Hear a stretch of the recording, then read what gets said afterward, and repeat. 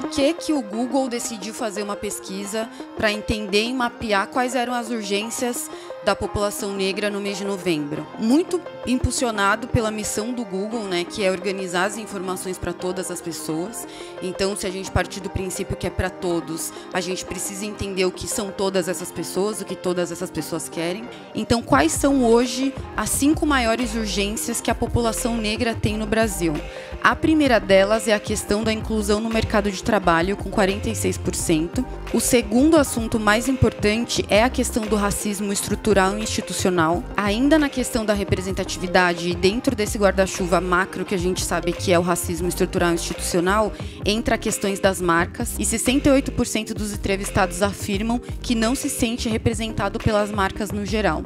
Um outro apontamento das urgências que foi muito interessante como insight e também tira a gente desse lugar de que é só academia que discute determinados assuntos é a terceira urgência, que é o feminismo negro. O quarto assunto é a questão do genocídio. Em quinto lugar, ficou a questão das políticas afirmativas com 19%. Então, a gente diz que é para onde a gente vai continuar com esses dados que a gente entende que essa pesquisa é importante para a gente agora. A gente sabe quais são as urgências dessa população. Os dados servindo também para o mercado, como eles conseguem fazer ações e ativações que condizem com o que a população negra precisa e a gente espera que esses estudos consigam aprofundar melhor as ações, ativações e projetos que muitas marcas e empresas lançam no mercado. Então, o nosso principal objetivo é fornecer ainda mais dados para que a gente consiga realmente discutir pautas que são relevantes para a nossa população. Eu acredito que o poder econômico e a, a, independência financeira é de fato assim o que vai libertar o nosso povo. Se ninguém me, me apresentar uma estratégia de poder e aí, quando a gente fala de dinheiro, a gente está falando de poder diretamente. Dinheiro para que tenha mais visibilidade e faça conteúdos melhores. A gente consome, é 1,7 trilhão de reais na economia que povo preto consome por ano. Eu tenho que saber o meu valor, sabe? Para que uma marca, quando ela olha e fala, ah, eu preciso fechar um projeto tal. Não, mas não pode faltar a Camila. Medicina, até hoje, é uma profissão muito difícil de você conseguir entrar na faculdade, né? Já tem todas as dificuldades do negro se manter na escola. E aí ainda teve a dificuldade para entrar na faculdade, porque sempre a minha performance era questionada, nos pequenos detalhes e nos maiores inclusive vindo dos próprios pacientes. É super importante ter vocês falando sobre como vocês ocupam os espaços que é, a gente não consegue ocupar ainda com tanta frequência, né? E, e, isso faz com que vocês inspirem outras meninas, outros meninos também. E eu tenho certeza absoluta que mulheres negras têm muito potencial e muita força de trabalho. Como você bem disse, né? Como Viola Davis disse, tudo que falta pra gente é oportunidade.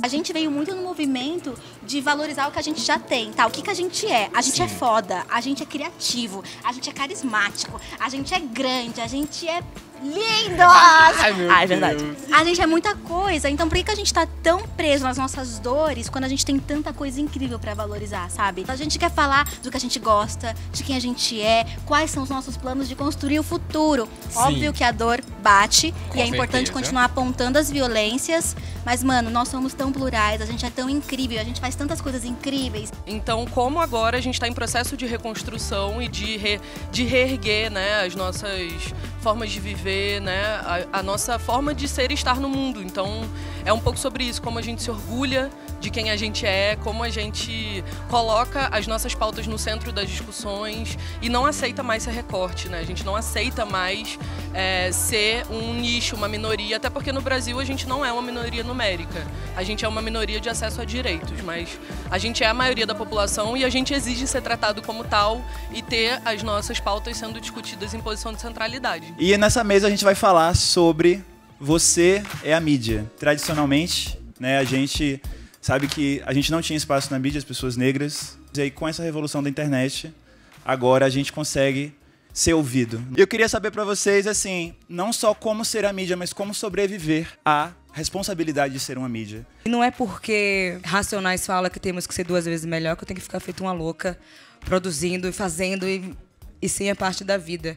Eu melhorei muito nessa jornada é, quando eu descobri que eu poderia cuidar de mim e não ter culpa de não ir num rolê como esse. Poderia ter negado, mas estou aqui. Eu crio muito conteúdo dizendo que eu sou uma pessoa. eu acho que no meu caso facilita muito, assim, do tipo, gente, me deixa em paz, tá ligado?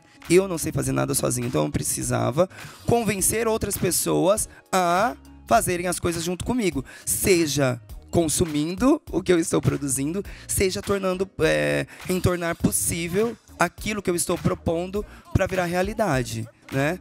É, então eu trabalho com essa formação de redes, de redes de apoio, de redes de apoio econômica, intelectual, material e, e concretas.